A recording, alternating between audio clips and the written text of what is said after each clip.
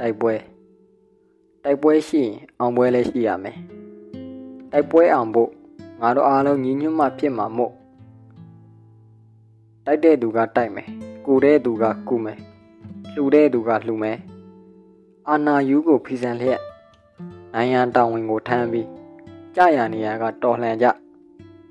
ဒီတစ်ခါနောက်ဆုံးတိုက်ပွဲဖြစ်ရစေဖို့မန်တင်းကရှေ့ဆက်လို့ပင်မကြတာသိပေမဲ့ အောင်ပွဲရဖို့လည်းနီးပြီမို့တို့အားလုံးအတူကြိုးစားကြလို့အာနာရှင်ကိုပြုတ်ချကြပါစို့လူသားမျိုးပြ